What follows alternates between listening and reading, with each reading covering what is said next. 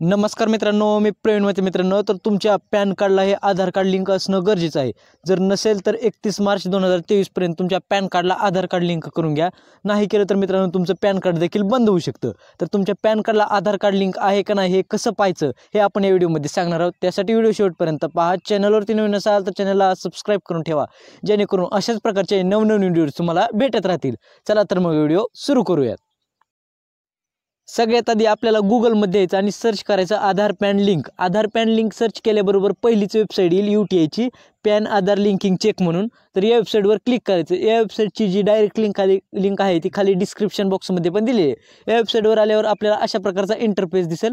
तर इथं आपल्या पॅन कार्डला आपण आधार कार्ड लिंक केलेलं आहे का नाही, ते चेक करू शकतो. इथं दिलेलं आहे बघा पॅन आधार लिंकिंग स्टेटस हे चेक करू शकतो. ते चेक करण्यासाठी खाली यायचं खाली आपल्याला एक पॅन कार्ड नंबर म्हणून ऑप्शन दिला आहे बघा. तर पॅन कार्ड पुर पुढे एक बॉक्स दिला आहे त्या बॉक्समध्ये जो आपला पॅन कार्ड नंबर आहे तो पॅन कार्ड नंबर टाकायचा मित्रांनो. संपूर्ण पॅन कार्ड नंबर एकदम व्यवस्थित टाकायचा. चुका करायची नाहीत. पॅन कार्ड नंबर टाकल्यानंतर खाली आपल्याला डेट ऑफ बर्थ टाकायची म्हणजे आपली जी जन्मतारीख असेल ती जन्मतारीख टाकायची. पॅन कार्डवर जशी जन्मतारीख आहे मित्रांनो तशी जन्मतारीख ॲक्युरेट ही टाकून घ्यायची. जन्मतारीख टाकल्यानंतर खाली यायचे. खाली आपल्याला जो कॅपचा दिलेला आहे तो कॅपचा आहे तसा खालच्या बॉक्समध्ये टाकून सबमिट या ऑप्शनवर क्लिक करायचं. सबमिट या ऑप्शनवर क्लिक केल्यानंतर आपल्याला अशा प्रकारचा एक मेसेज दाखवला जाईल की Aadhaar is already linked to PAN म्हणजे तुमच्या जर पॅन कार्डला आधार कार्ड लिंक असेल ऑलरेडी केलेलं तर अशा प्रकारचा मेसेज दाखवला जाईल. जर नसेल तर नॉट लिंक्ड टू पॅन म्हणून दाखवलं जाईल मित्रांनो.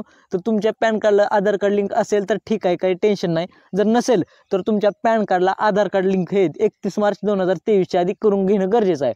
नाही, अन्यथा तुमचं पॅन कार्ड हे बंद होऊ शकतं. आता पॅन कार्डला आधार कार्ड लिंक करण्यासाठी एक हज़ार रुपयाचा खर्च खर्च आहे मित्रांनो, म्हणजे दंड आहे.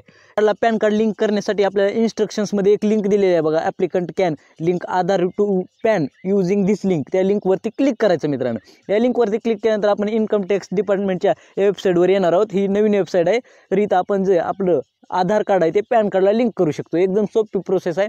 इथं पॅन कार्ड नंबर टाकायचा आधार कार्ड नंबर टाकायचा आणि खाली व्हॅलिडेट म्हणून एक ऑप्शन दिला आहे त्या व्हॅलिडेट या ऑप्शनवर क्लिक करून आपलं जे आधार कार्ड आहे ते पॅन कार्डला लिंक करून घ्यायचं आणि जे आपलं एक हजार रुपयाचा दंड आहे पेमेंट आहे ते करून घ्यायचं मित्रांनो. तर एकतीस मार्च दोन हजार तेवीसच्या आधी हे काम करून घ्या. अन्यथा तुमचं पॅन कार्ड हे कायमस्वरूपीचं बंद होऊ शकतो. तर अशा प्रकारची एक महत्त्वाची माहिती होती. जर व्हिडिओ आवडला असेल तर लाईक करा आपल्या मित्रांना शेअर करा.